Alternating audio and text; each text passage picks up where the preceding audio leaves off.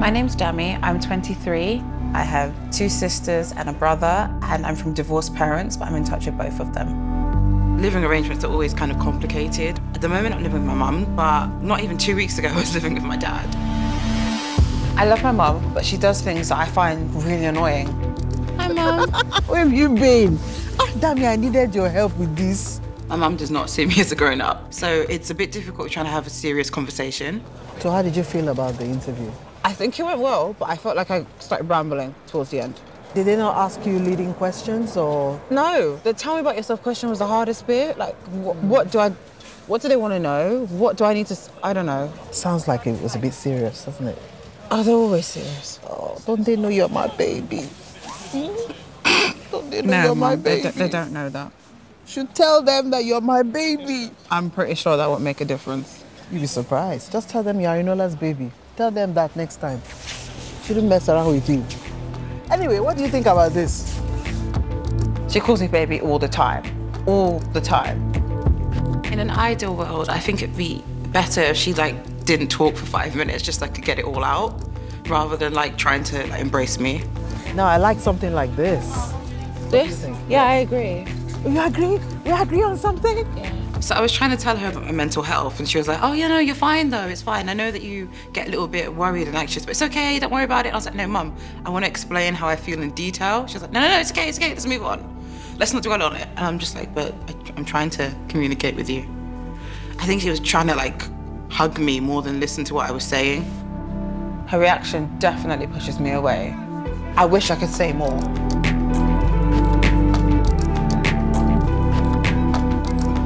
Excuse me, sir. You didn't see how full I am? Oh, Lord. Eh? It didn't go round me. Dammy, what's the matter? Nothing. I have to be honest, I was feeling a bit anxious about coming home. Why? Because I moved in with my dad and then suddenly I'm back with you. Like, it's not a bad thing, it's just, I feel like I went back in time a little bit. Maybe feel a bit uncomfortable. I feel like I've gotten to somewhere else in my life and I just went back in time and I didn't want to go back in time. Oh, I'm just thinking how I can help. You because- can't. You can't. There's nothing anyone can do. So, is it been difficult adjusting to living back with me? Yes, but no. It's hard to explain. I don't really want to talk about I it think, anymore. I think, I think I understand what you're trying to say, but I'm asking you to look at a different perspective. Can I invite you into a different way of thinking? No. Just no. I don't need help. That's the point. Oh, yes, yes. Maybe, Dammy, how you doing every now and then? No, no. Just ignore you. That seems to be the script right now. The script of you go your way and I go mine. That's, that's the way it feels. This conversation is s- It's stressful. done. Okay. All right. Okay. I'll see you later. Let me just go up the other side of the market. I think family therapy will help in a way where we be, we'll be able to communicate better. I think that's the main thing. So, family therapy isn't a quick fix. Normally, people see a family therapist over a period of weeks and months and sometimes even longer. So, this is just the beginning of that journey for Arinola and Dammy. So, I hope that even in one session, we're going to be able to start identifying some of the issues that they'd like to resolve. So, one of the themes that kind of emerged for me when I was watching some of the interviews um, of both of you this morning was uh, about the talking and about who takes up space, who does the talking, you know, what the talking is about. You're laughing already. Do you? I'm you laughing now because life is easy. It doesn't have to be tough. okay. yeah. So it, it doesn't mean I'm not taking it seriously. It's just my reaction. like- yeah, yeah. Tell me what you would really like to, to work on Okay. together. I would like there not to be like such a, th- a, a thing around me saying I need space. Like just mm-hmm. if I say the word, then it's not offensive. It's not personal. I just literally just want to decompress for a while. Yeah. I feel like she takes it personally when it's not. And how would that improve things between you? I think I wouldn't be so worried about how she's feeling emotionally at that moment because she wouldn't have a large emotional reaction. It might just be a little bit taken aback rather than actually hurt or upset. What happens for you then when you hear Dammy say, I need some space, mum. Well, if I can't negotiate to stay a little bit more, mm-hmm. then I just go back to my room. Mm-hmm. I mean, even yesterday, uh, what happened? I think I said, Can I have five minutes? She mm-hmm. goes, Yep. So I had five minutes. I didn't know I was on the clock. So I think I said something else. She goes, Mom, you spent 45 minutes now. You only wanted five. And I now act like, like a child, like, oh yeah, so I did 45. Okay. All right. So I think my time is up, you know. Mm-hmm. And then I just go mm-hmm. do stuff. So you said something important there also. You said, so then I act like a child. So Yes, I is that right? Is eh? what's happening for you inside then? Do you feel eh? like you're being rejected? The thing is, I didn't realize that there was a time scale. So it comes as a shock. Mm-hmm. Yeah. And then I'm also saying, I haven't seen you most of today, Mm-hmm. and I would like to spend time. But I also understand that she has her own plan, Mm-hmm. you know? So all that, I'm processing all that in my head, but I'm thinking, we haven't actually really seen each other, but we live together. Maybe parents or mums, maybe they always feel like that. Maybe there's always a feeling like I'm always going to want more of you than you want of me. You know, maybe that's that's part of the kind of process of having children. Hmm. No, what do you think about that? What do you think? Yeah, Yeah, definitely. you sound pretty clear. Do, is that how it feels a lot of the time? That sort of mum wants you more than actually you need because you're an adult? yeah. Yeah. I wonder how your mum became an adult alongside her own mum. And one of the things that I really struck me as I was watching the, the video clips this morning was that you're about the same sort of age as you were when you came to this country. Is that right?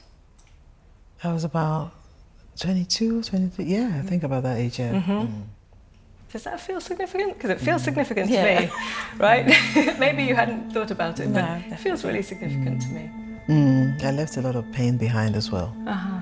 Uh-huh. I wanted to get away from voices shouting and um, what's the word I'm looking for? Constantly being told off, told off, or not being good enough. Wow. I just wanted to keep, keep, draw a line, and get away. Okay. That's Yeah. why you. That's why you. That's left. one of the reasons why I came here. Who were those voices that you left behind? Um, there was a lot of pain because my parents were separated, and he expressed his own pain in his own way. And one of it was to imagine that I didn't have a mom anymore; she's dead. Tell me what you're hearing for for the first time. How are you hearing this story? Um, how she felt about not being good enough. Yeah. Um, jumping between mom and dad because I'm kind of Does that doing sound familiar? that now. Yeah. Yeah. But I'm not doing it in the same context. Like my situation is not hostile on either Mm-hmm. side.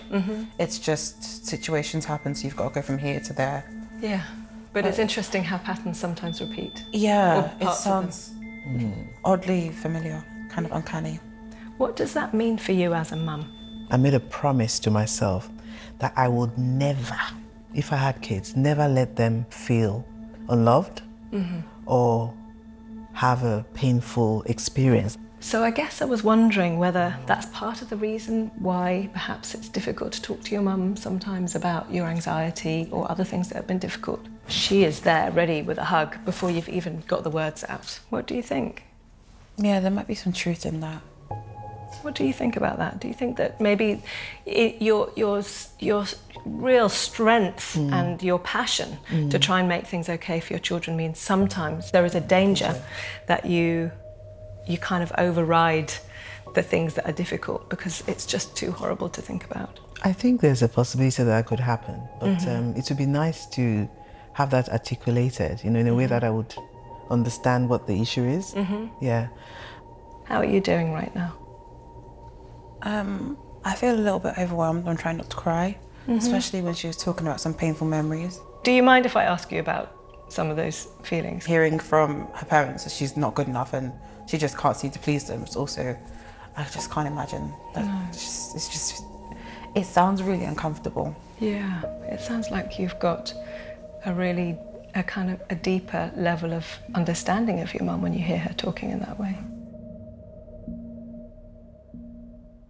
I think I might want to talk to her more about complicated issues because mm-hmm. it's very possible that she's felt the same way, even if I didn't know that. Yeah. And she'd be able to give me the best advice possible because she's done something far more extreme. Mm-hmm. Is this what you had in mind? How did you think it was going to go? I had no idea how it would be, so this is kind of It's going better than I expected, to be honest. I thought we'd both be crying, maybe. Okay. Crying and hugging. I'm not sure. Okay, is crying and hugging not good? No, I don't want to do that. You don't want to do that? Okay. Why? I just, I feel like it might not get us anywhere. We'll just waste time with the tears. So mm-hmm. What might happen if you start crying? I might let go of things that I'd maybe bottled longer before that I just didn't want to address. Okay. Did you know that Dammy feels like that? What she said about the crying getting in the way, I've never heard that one before. Mm-hmm. But I do know that when I cry, it's like she doesn't know what to do. Is that right? Mm. Does that upset you? Yeah, I can't help. I can't manage the situation. Mm-hmm. Whether you're crying or doing something else, I guess I wonder how people can be there for you if it's difficult to show that you're vulnerable. I haven't thought about that. But I think it's a bit dangerous if you don't vocalize or express things or get it out of your system. Mm-hmm. You kind of need to be able to get some stuff out of you. Maybe that's part of what happens with the anxiety mm. where it builds up. You're talking about being vulnerable now because I've brought it up. So, how does it feel talking about it now with your mum here? Sort of acknowledging some of these complicated feelings. I feel exposed. Mm-hmm. Yeah. What do you think your mum's making of it? What do you wish she could take away from, from this bit of the conversation? I'm not really sure. Just turn your chairs a little bit like you were doing before, because I think you need to be having this conversation with each other. So why don't you ask Dammy how you'd hmm. like her, how she'd like you to be? How how Dammy, I am so sorry and almost hurt for you, you know, to hear what you've said about the vulnerable thing and having to deal with things yourself. And makes me feel that I'm not available enough or I'm not approaching you in the right way so that you can comf- be comfortable enough to talk. So, what can I do differently to help you to um, get out some of those feelings or talk about them? I feel like if I say something sad, you'll be really, really sad. Okay, And I don't want to make you sad, so I'd rather just deal with it.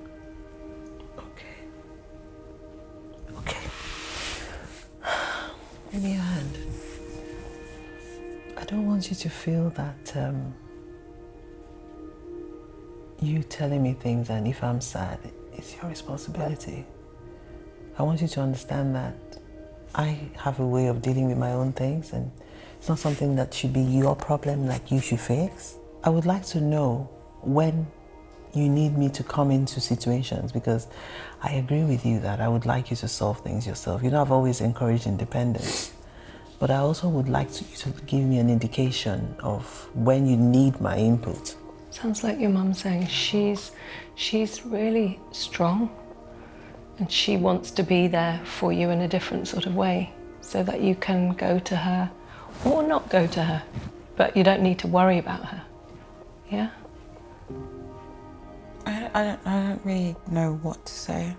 It's just kind of comforting to hear. Mm-hmm. Okay. I'm happy for you to pile on more. You're my baby, you know? You're my baby. I adore you. I'm so proud of you. And I guess part of that mm. conversation is she can come to you and she doesn't have to come to you, and that's also okay. You're right. Yes. Yeah. Spot on. Yeah. Yes, I'm hearing that. Yes, I, yes. Okay. This feels like a really important moment to be thinking about the anxiety that you've experienced in the past and maybe still do. Is there something that you want to share with your mum or the way would you like to guide her how she can help you? Oh yes, please. I guess if I just if I say the word space, just don't take it personally. No, no, no, no, no. No, I won't take it personally. You know, I need my space sometimes. What happens at home? I don't know, around meals. I know it's kind of new, isn't it, being back at home, but can you think of a scenario where it doesn't work brilliantly? we don't eat together, and I know my mum would like to, but we eat very separate things. Mm-hmm. I have a very restrictive diet, and mm-hmm. she'll either like nibble something that I'm eating, or just eat something completely different, or she'll want to try my food. I don't like to share my food. Okay. I just I, No, she doesn't. it's, It's a no it's no. mine. Okay. Would it be like if you made extra and mum made a real effort to eat the food that you made? That would be nice. Because eating together is a very special thing, really, Oh, yes. Yeah. Are you willing to give it a go? Oh, God, yes, I am. I Yeah. am. Yeah. Mm. Are you feeling all right? I bet you're feeling exhausted, aren't you? A little bit, but I also feel lighter as well. Mm, great. Can we hug now? Okay. Oh,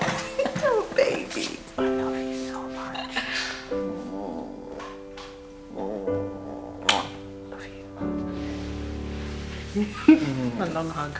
Is it long? Oh, It's a long hug. okay. I'll try and make it shorter next time. Timing.